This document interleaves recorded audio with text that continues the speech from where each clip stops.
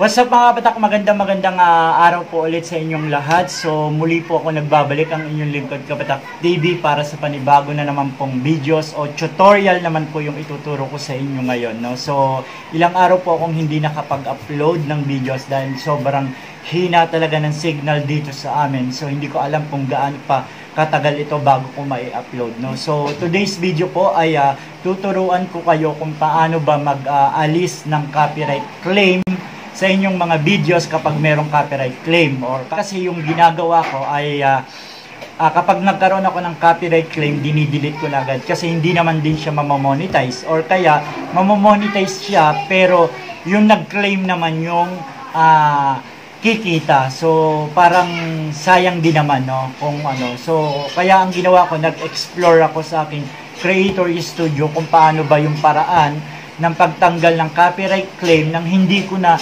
i-delete yung video or hindi ko na uulitin yung pag-upload. So, pwede pala sa Creator Studio natin. So, yun yung ituturo ko sa inyo guys. And syempre, ah... Gaya po ng lagi kong sinasabi kung kayo po ay bago at napadaan lang dito sa aking YouTube channel ay huwag nyo na pong kalimutang batakin yung subscribe button kasabay na rin po ng pagbatak ng bell notification para lagi po kayong updated sa lahat ng videos na i-upload ko. So bago po tayo mag-start, uh, shout out po sa lahat ng aking team Kabatak at saka team Bandido and muli po akong nagbabalik as monetized channel dahil na-demonetize nga po yung channel ko. So maraming maraming salamat po sa mga hindi nang iwan sa akin habang uh, sa loob ng isang buwan na na-demonetize ako. Maraming maraming salamat po. And syempre, umpisahan na po natin to. Wag na po natin patagilayin pagkatapos po ng intro.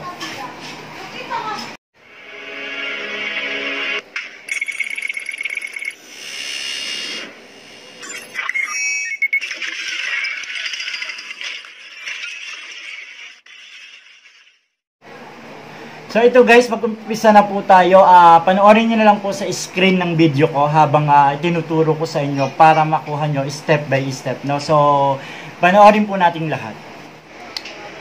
So guys, ito na dito na tayo sa screen ng aking uh, Creator Studio kung saan ituturo ko sa inyo paano ba magtanggal ng copyright claim sa inyong mga videos. Kasi dati ang ginagawa ko is uh, pagka may copyright claim, i-delete ko na lang. So meron palang paraan kung paano natin uh, ma-edit siya nang hindi na natin dinidelete kung gusto niyo tanggalin yung copyright claim no so first na gagawin niyo punta lang kayo sa inyong video sa inyong mga videos no so mapapansin niyo ito yung mga videos ko yan 'di ba so meron akong copyright claim dito na copyright claim so ito yung papakita ko sa inyo kung paano papagawa ito yung my TikTok compilation ko so kung mapapansin niyo ito siya yan copyright claim nakalagay.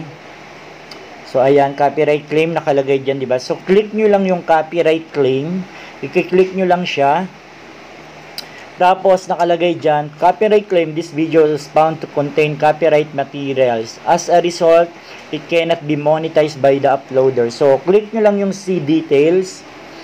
Pag nakita nyo na yung see details, ayan, so, makikita nyo na yung see details, di ba? Tapos, pag na-click nyo yung see details, may makikita kayo ditong select action. So, click nyo lang yung select action. Pag nakita nyo yan, so, tingnan nyo muna yung video nyo. Kung ano ba yung uh, na-copyright claim, no? So, ayan.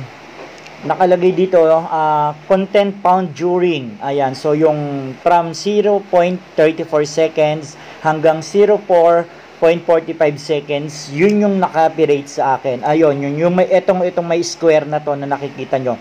So yun yung nakita yung copyright claim sa akin. So ang gagawin nyo para uh, matanggal ang claim, so 'di ba select nyo nga yung select action tapos trim nyo na lang.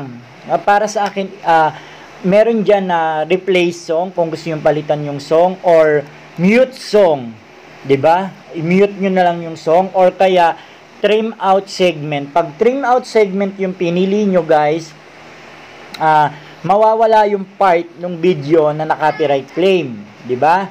So mawawala 'yon. And syempre, kapag replace song, papalitan niyo yung music. So medyo matagal 'yon. Kaya ang gagawin ko ang sa akin ay ang gagawin ko na lang ay iti uh, i-mute ko na lang yung song.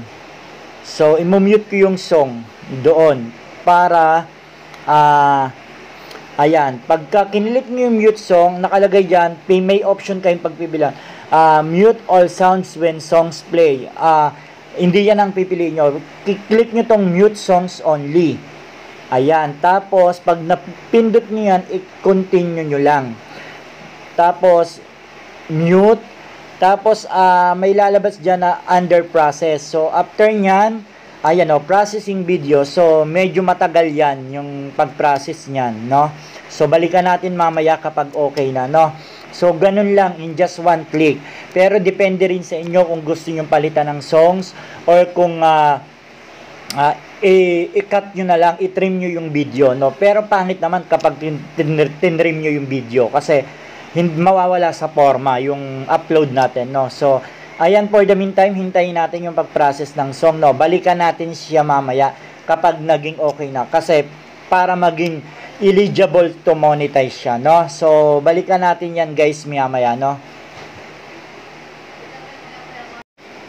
So, ito na guys, kung makikita nyo after 5 minutes, o makikita nyo yung video ko na may TikTok compilation is monetized na siya, di ba?